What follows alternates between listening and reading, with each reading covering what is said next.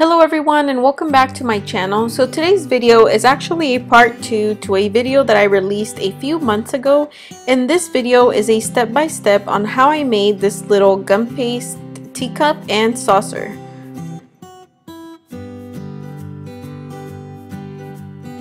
I started with a template and cut out all three parts of my teacup and saucer.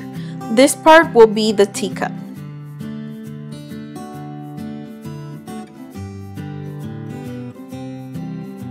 This next part will be the saucer.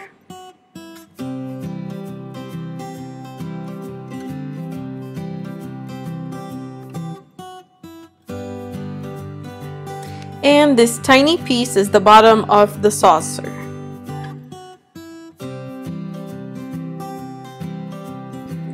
One thing to remember is that it's very important to use gum paste because you can roll thinner and it dries faster, but you can certainly use fondant with Tylose powder to replace the gum paste.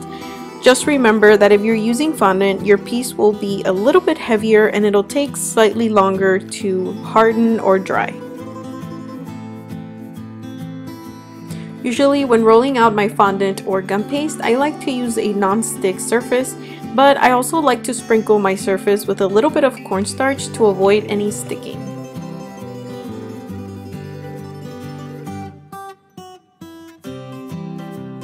Once you have rolled out your gum paste into an even thickness, you can begin to cut out the template using a pen blade. In between cuts, I like to powder my blade with a little bit of cornstarch to avoid any additional sticking from my gum paste onto my blade.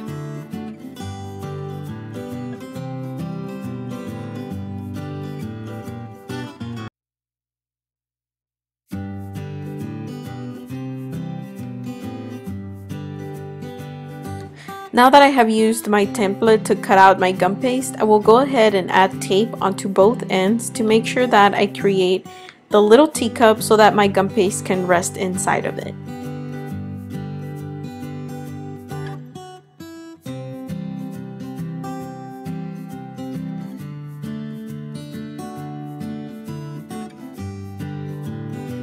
Now that we have our paper teacup, we will go ahead and adhere both sides of the gum paste using edible glue so that we can make sure it holds on once we place it inside the paper teacup.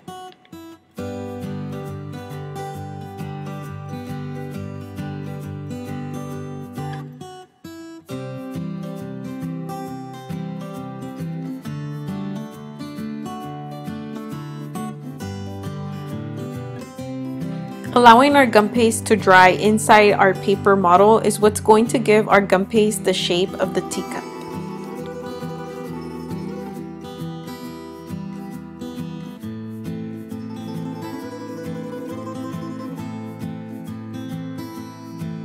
Now we will go ahead and repeat the same steps for our saucer and for the base of our saucer.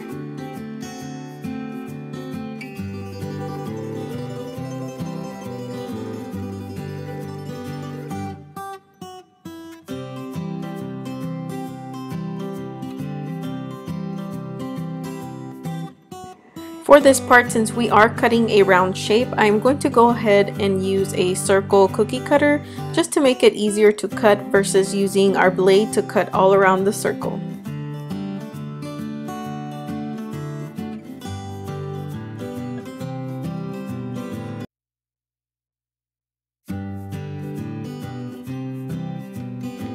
Don't forget to cut out the slit that is at both ends of the saucer because when we adhere both of these ends, it will add dimension to our saucer.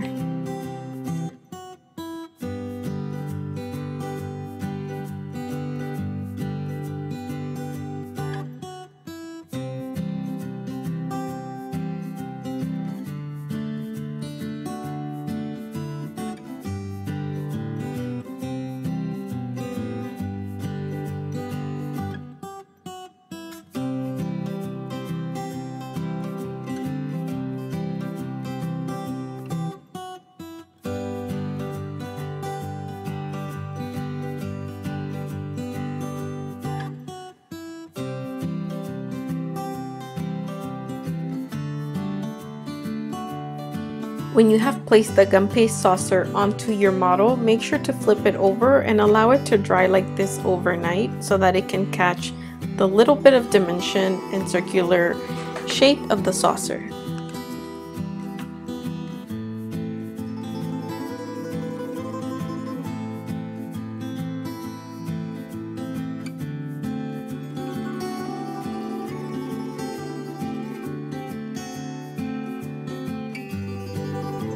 Cut out the base of the saucer using your blade and then once you are through with the blade you can go back with a tiny little circular cutter just to make sure that you sharpen up the edges.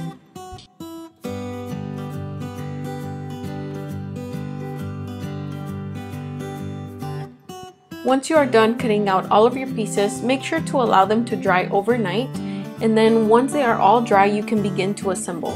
Now I did lose pieces of my footage, but here is a photo of what I did. Make sure to attach your teacup onto your saucer using edible glue or royal icing and don't forget to also make a little handle for your teacup as shown here.